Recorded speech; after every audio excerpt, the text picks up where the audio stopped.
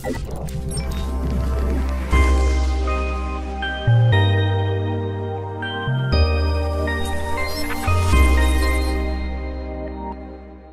السلام عليكم ورحمة الله وبركاته. بسم الله والصلاة والسلام على رسول الله. اللهم صل وسلم وبارك على سيدنا محمد. قبل ما نبدأ الفيديو يا أصدقائي صلوا على الحبيب محمد عليه أفضل الصلاة والسلام أصدقائي الغاليين. أولا كل عام وأنتم بخير بمناسبة حلول شهر رمضان الكريم. وتقبل الله منا ومنكم صالح الأعمال ويا رب تكونوا بألف خير وبصحة وعافية. دايما بإذن الله. النهارده يا اصدقائي بكل اختصار هنتكلم عن الخطوات الأساسية اللي لازم تعملها بعد ال format أو بعد تثبيت Windows جديده، والخطوات اللي أنا هعرضها عليك في الفيديو خطوات أنا بعملها بعد ما بعمل أي Windows جديد عندي ببساطة علشان تخلي ال Windows عندك سلس في الاستخدام. يعني على سبيل المثال بعض التعليقات أو معظم التعليقات اللي بتجينا على الفيديوهات بتاعة تحسين وتسريع زيادة ال FPS في الغالب كله بيقول إن عندي ال Windows بطيء ال Windows بيقطع عندي الألعاب لما باجي أشغلها بيكون فيها lag جامد جدا.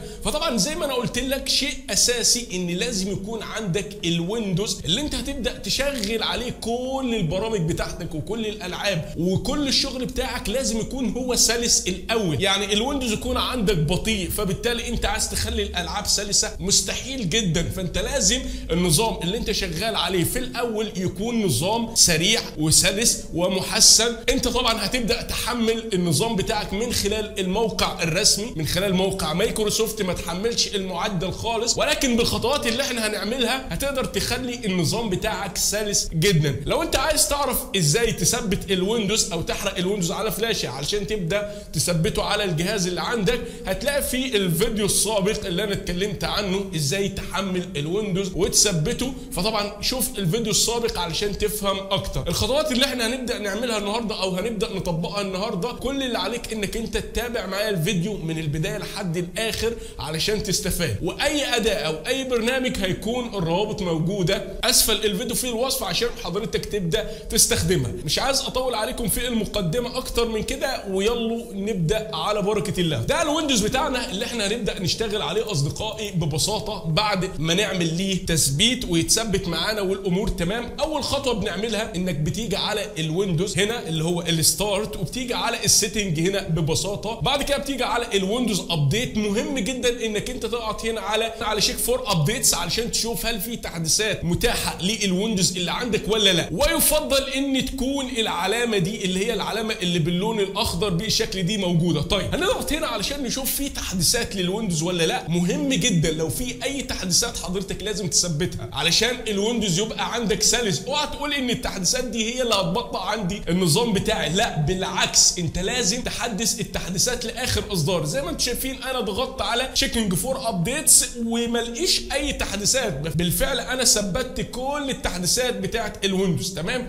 طيب ده أول خطوة. تاني خطوة في نفس المكان هنروح على حاجة اسمها delivery optimization كل اللي عليك يا صديقي إن الخيار ده هتبدأ تعطله. بعد ما هو كان شغال هتبدأ تعطله ببساطة. بعد كده بتضغط على ال home هنا وبتيجي هنا على ال apps كل اللي عليك هنا في بعض التطبيقات اللي هي خاصة بمايكروسوفت هنبدأ نعمل ليها إزالة. مش محتاجينها. أول حاجة أنت بتيجي هنا في ال search وبتكتب سكايب بتكتب حرف ال S زائد حرف ال K هيظهر معاك سكايب بالشكل ده. وهنا بتضغط على uninstall و uninstall ده أول تطبيق هنبدأ نلغي تثبيته من الويندوز. مش محتاجينه يعني أو مش مش هنحتاجه في أي حاجة. تاني تطبيق هنبدأ نلغي تثبيته اللي هو ال OneDrive بتبحث هنا بتلاقي طبعا ال OneDrive عندك بالشكل ده. هتضغط على uninstall و uninstall عشان تبدأ تلغي تثبيت ال OneDrive اللي هو موجود في الويندوز يعني مش هتحتاجه في أي شيء. هو مجرد تخزين سحابي للملفات. فلو حضرتك هتستخدمه. okay مفيش أي مشكلة. ولكن أنا بنصح حضرتك إنك أنت تبدأ تعمل ليه إلغاء لأنه طبعا هيبطئ الجهاز بتاعك بشكل كبير جدا. الخطوة اللي لحد هنا تمام. الخطوة اللي بعد كده إنك أنت برضه في نفس التطبيقات هنا بتدور على بعض التطبيقات اللي أنت ممكن تعمل ليها إزالة. في بعض الألعاب مثلا زي اللعبة دي بالشكل ده كل اللي عليك إنك بتعمل ليها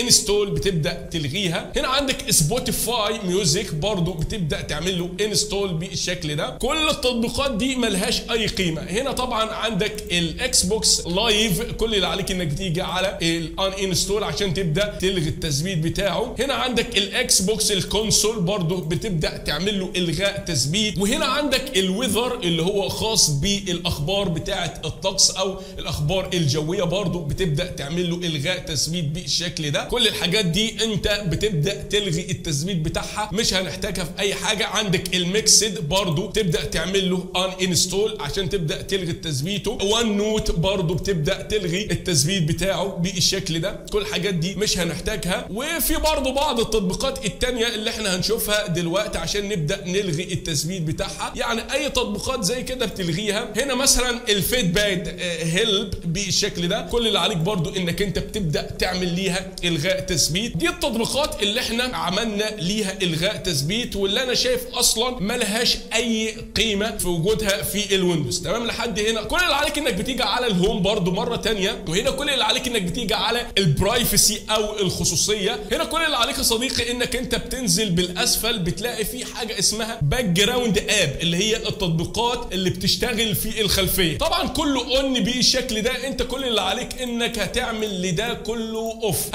هتوقفه بالخطوات دي مش من الزر اللي فوق لا. أنا عايزك توقفهم خطوة بخطوة أو تطبيق تطبيق بنفس الخطوات اللي إحنا بنعملها لأنها هتفرق جدا. بعد ما توقفهم كلهم كده بتطلع فوق وبتلغي الزر الأساسي لغلق التطبيقات دي. لحد هنا وتمام؟ طيب. كل الحاجات دي حضرتك بتبدأ تعملها. بعد كده بعد ما تطبق يعني الخطوات دي وتبدأ توقفها بنفس الطريقة دي كل اللي عليك دلوقتي إنك أنت بتيجي هتلاقي في زر كده مشمس ومش عارف إيه بتيجي عليه كليك يمين وبتيجي هنا على ال news اللي هي الأخبار وبتخليه turn off عشان تبدأ توقفه بالشكل ده. هتلاقي في زر اسمه people برضو بتيجي عليه click يمين. كل اللي عليك إنك ال show people هتبدأ تعلم عليه عشان تبدأ تخفيه. هتلاقي برضو في زر كده ال meet اللي هو بتاع الاجتماعات يعني click يمين وضغط على hide علشان تبدأ تخفيه. برضو ال search هنبدأ نضغط click يمين وتيجي على ال search هنا كل اللي عليك إنك هتضغط على hidden عشان يختفي معاك زر ال search. ده كله مش هنحتاجه في أي شيء. تمام؟ لحد هنا. طيب الخطوة اللي بعد كده إنك أنت بتيجي على ال This PC click يمين وبتيجي على properties بالشكل ده. بعد كده بتيجي على advanced system setting وهنا كل اللي عليك إنك بتضغط على ال setting ببساطة. وبتيجي هنا على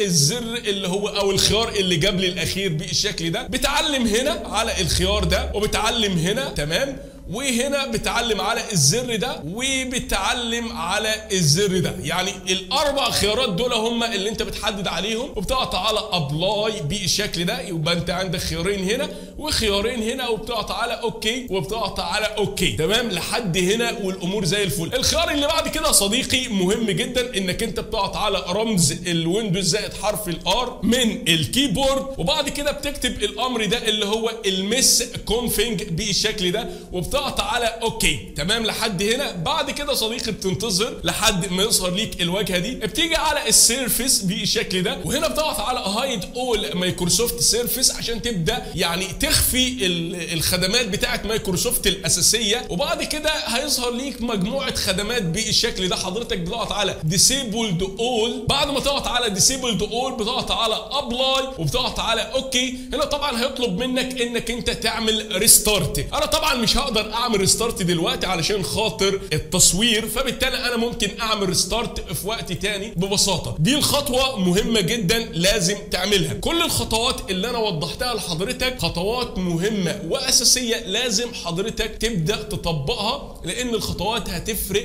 بشكل كبير جدا في أداء الجهاز بتاعك. الخطوة اللي بعد كده هي خاصة بإعدادات الطاقة. هكون سايب لك في كود خاص بإعدادات الطاقة بالشكل ده. كل اللي عليك إنك هتنسخ الكود ده طبعا هتبدأ تحمله من الوصف عشان تبدأ تستخدمه. هتنسخ الكود ده بتاع الطاقة وما عليك غير إنك أنت بتيجي على start وتكتب ال CMD بالشكل ده. تيجي click يمين و run as administrator وبتضغط على yes طبعا لما بتدخل على ال CMD كمسؤول بتعمل لصق للكود اللي أنت عملت ليه نسخ وبتضغط على enter بعد ما تضغط على enter هيظهر ليك خيار اسمه ultimate performance بالشكل ده. طيب اقفل هنا وتعالى على زر الطاقة click يمين وال power options بالشكل ده. وهنا كل اللي عليك إنك هتضغط على show plan علشان تبدأ تظهر إعدادات الطاقة الإضافية. هتلاقي في خيار هنا اللي هو ال ultimate performance كل اللي عليك إنك هتحدد على ال ultimate performance بالشكل ده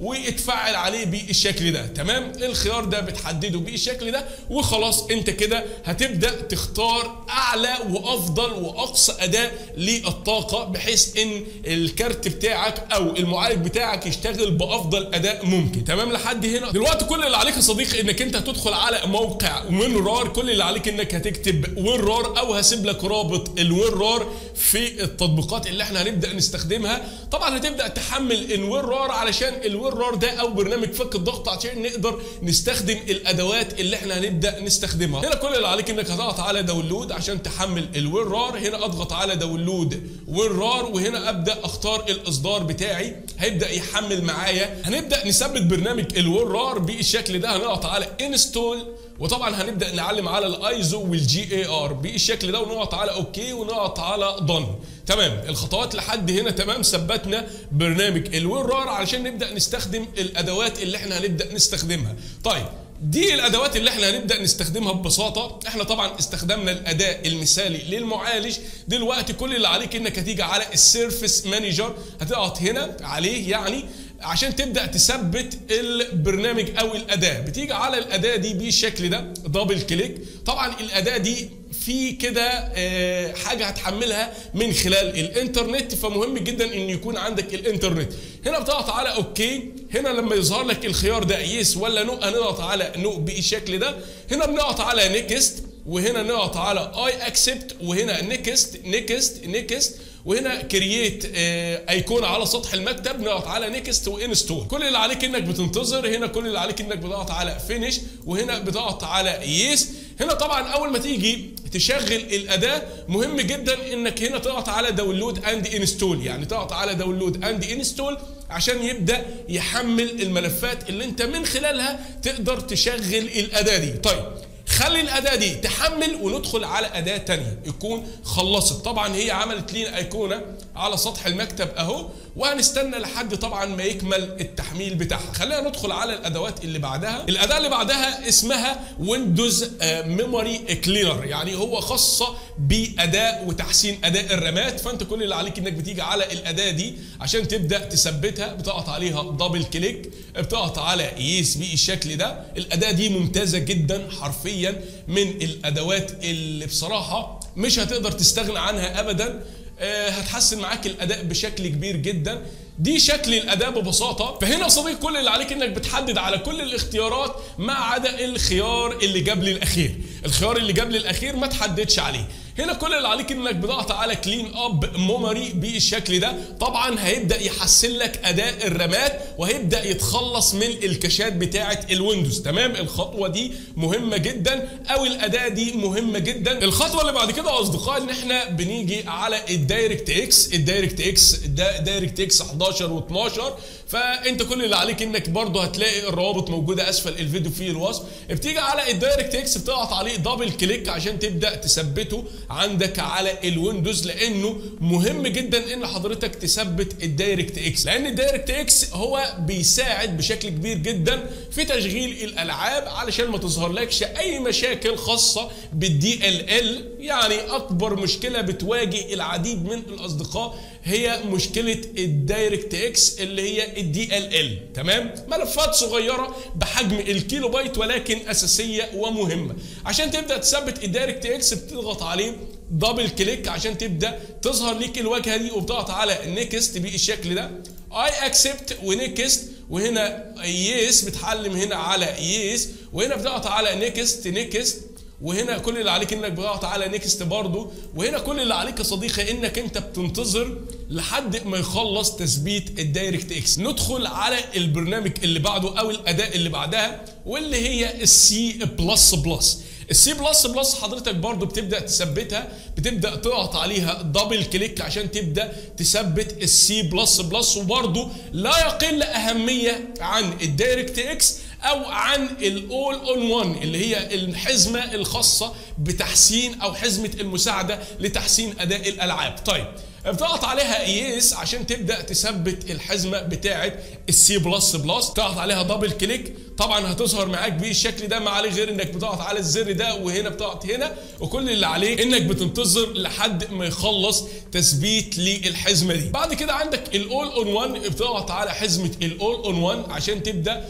يعني تستخدم الحزمة دي لأن الحزمة دي مهمة جدا برضو في تحسين أداء الألعاب وتشغيل الألعاب بشكل كويس بحيث ان ما يظهرش عندك اي اخطاء نهائي عند تشغيل الالعاب. كل الحزم اللي أنا ثبتها قدامك في الفيديو وكل الخطوات اللي إحنا عملناها خطوات مهمة جدا لازم تعملها طيب دي الحزمة كلها وهنا طبعا فيها كل الأدوات اللي أنتوا شايفينها دي. ببساطة انت كل اللي عليك انك هتضغط على install هتضغط على install وهتنتظر الحزمة دي لحد ما تخلص تثبيت بالكامل. بعد ما ثبتنا الحزم يا أصدقائي وعملنا restart للجهاز بتاعنا رجعنا مرة تانية ببساطة عشان نبدأ نستخدم الأداة بتاعتنا اللي هي ال service manager. طيب هنبدأ نضغط على الأداة بتاعتنا ال service manager ببساطة يعني أبسط من البساطة. حضرتك عندك ثلاث أوضاع عندك ال default setting وعندك ال safe optimization وعندك ال maximum optimization اللي هو أقصى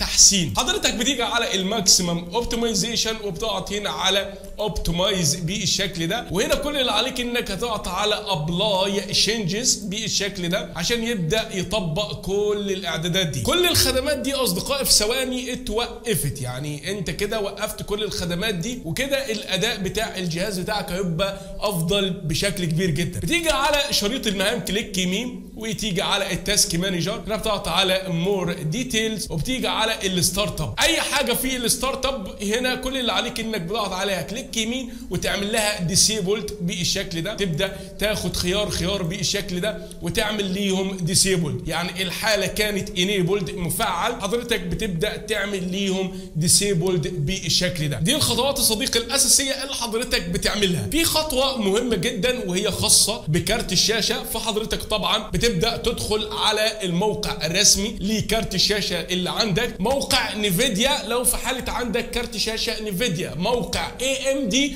في حالة عندك كارت شاشة AMD وبتبدأ تثبت التعريف من خلال الموقع الرسمي. دي الخطوات الأساسية اللي حضرتك بتعملها وإن شاء الله هيكون في جزء تاني عن الخطوات الأساسية. طبعا عشان الفيديو ما يطولش أكتر من كده الأدوات اللي إحنا استخدمناها هسيب لك الروابط بتاعتها موجودة أسفل الفيديو في الوصف. والخطوات اللي أنا وضحتها لحضرتك لازم تبدأ تطبقها بنفس الخطوات اللي أنا عملتها. تمام يا صديقي؟ شكرا لكم أصدقاء على المشاهدة وفي النهاية أتمنى إن يكون الفيديو نال إعجابكم. في النهاية أصدقائي ما تبخلوش علينا بعمل like للفيديو اشتركوا في القناة وفعلوا زر التنبيهات وانتظرونا في الفيديوهات القادمة. والسلام عليكم ورحمة الله وبركاته.